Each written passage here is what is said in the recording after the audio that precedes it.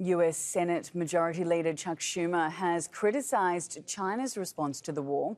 On Sunday, China's foreign ministry called on all sides to show restraint and end hostilities. Schumer, who is visiting China, told Beijing's top diplomat Wang Yi that Israel should be shown more support. The ongoing events in Israel over the past few days are horrific. I urge you and the Chinese people to stand with the Israeli people and condemn these cowardly and vicious attacks.